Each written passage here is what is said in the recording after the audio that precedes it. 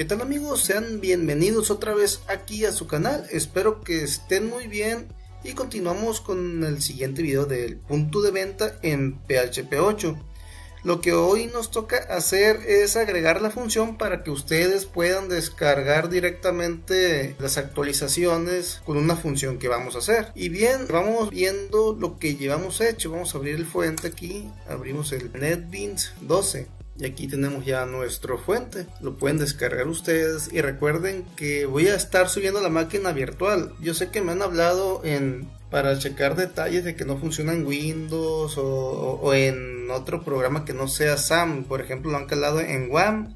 Y pues sí, son diferentes configuraciones. Eh, me preguntan por qué no funciona. La verdad tendría que meterme y ver el php.ini. Es lo que tienen que revisar ustedes si me preguntan qué es, pues tendría que revisarlo yo. Mejor búsquenlo ustedes cómo hacerlo o descarguen el SAM o en su defecto la máquina virtual, que ahí vamos a estar subiendo todo. Ok, em, vamos a checar aquí. Ya había trabajado yo antes en en este módulo, en esta vista que se llama actualizar, se lo voy a explicar. Primero hicimos esta función, se llama ejecutar e imprimir, eximprint, y aquí le mandamos el comando que vamos a ejecutar en, que vamos a ejecutar en la consola. Puede que para Windows sea diferente, pero lo voy a hacer como si fuera para Linux, porque todos los servidores ya saben que son Linux. Esto va a funcionar solamente para los VPS.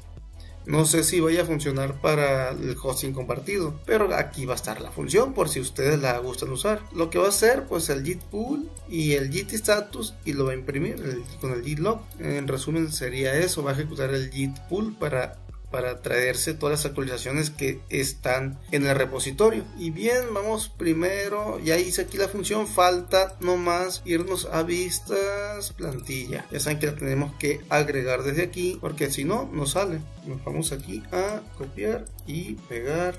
Le damos actualizar y vamos a ver qué tal funciona. Lo corremos. Bien, antes de eso voy a subir el fuente para que me sube este cambio. Ah, falta agregarlo al menú. Se me pasaba, nos vamos al menú.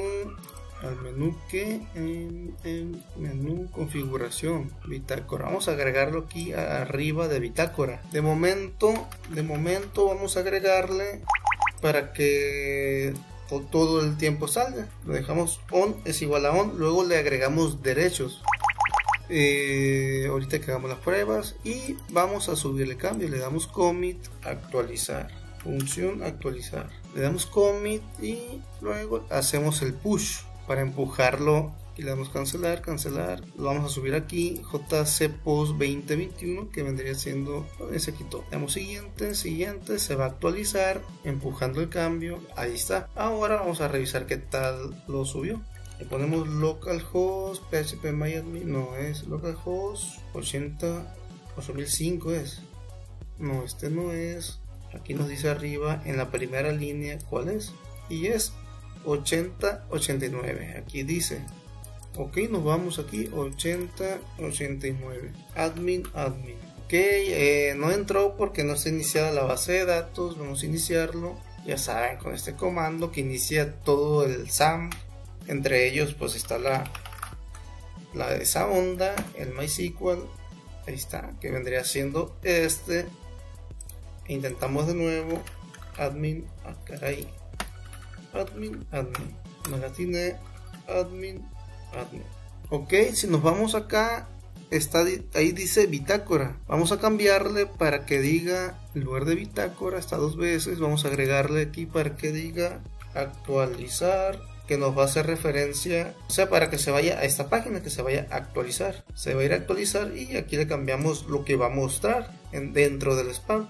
Ah, caray, ¿por qué se va ahí? Ahí está, actualizar.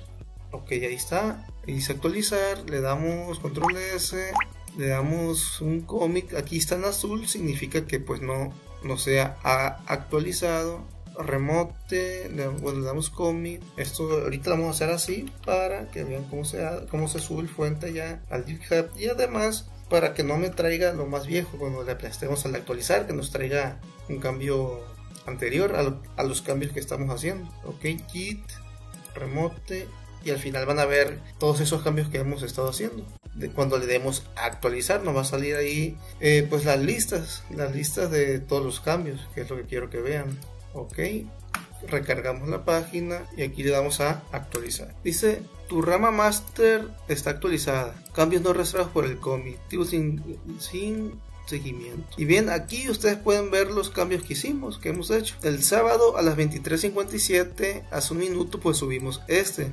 Bien, vienen los cambios de cambio de contraseña, cambio de función para la contraseña otra vez, corrección de venta, lentitud, están todos los cambios pues que le hemos hecho en lock. Bien, vamos a ver si funciona esto en un hosting compartido. Y bien, pues ya estamos aquí en, en el fuente que está arriba. Lo, lo acabo de subir. Vamos a ver si nos arroja bien esta función de actualizar. Vamos a ver si no nos trae ni un fallo. Y bien, al parecer sí está funcionando. Dice ya está actualizado. Eh, falta agregar estos estos archivos pero que están dentro del servidor. Aquí están las correcciones. ¿qué vamos a hacer? vamos a hacer un cambio. Vamos a cambiar el icono de este actualizar.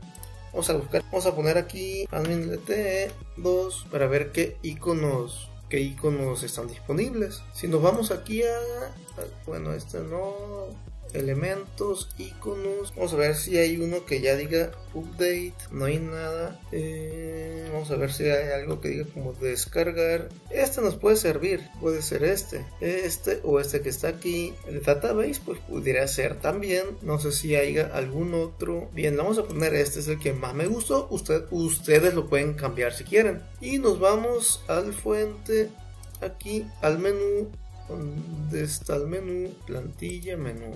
Y aquí le cambian el lugar de nav icon, le van a poner fa cloud. Ok, vamos a subir el cambio, le hacemos un commit, git commit, cambio, le ponemos función actualizar, función actualizar desde github. Le hacemos el commit y ya le hacemos el push, remoto push. El push ya saben para empujarlo aquí y listo, vamos a ver si nos carga la actualización le damos aquí actualizar y dice que pues nos hizo esta inserción. Un archivo cambió y, y aquí está. Este pues es el log de todos los cambios y estos los cambios que, que hizo y qué archivo modificó. Y bien amigos, pues espero que les sirva este tutorial, así lo pueden descargar ustedes. Eso sí, si ustedes hicieron un cambio y le actualizan desde mi repositorio, pues es posible que haya errores o te borre los cambios que tenían. Mira aquí como que está duplicado configurar correo. A ver, vamos a darle a actualizar. Bueno, aquí ya se cambió el icono de actualizar. Eh, vamos a ver por qué está doble configurar correo.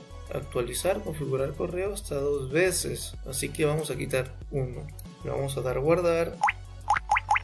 Y nos vamos aquí al commit corrección con configurar correo. Y listo le damos commit subimos el fuente y luego eh, que sigue pues le damos actualizar otra vez. Ahí está y dice que hubo un cambio y viene pues que quité todas estas líneas y agregué una. Y aquí está corrección, configurar correo. Aquí va a ir poniendo el log de cambios. Y bien amigos, no olviden suscribirse, comentar el video, me apoyan mucho comentando los videos. Así que si me están mandando mensajes al WhatsApp para preguntarme sobre este sistema, es mejor que me que lo pongan aquí en los comentarios de, de los videos. Eso me ayuda más. A no ser de que quieran soporte, pues ahí pues directamente háblenme a mí. Y bien, pues nos vemos. Muchas gracias, ya saben, por estar aquí con nosotros, por apoyar al canal y nos vemos. Fierro pariente.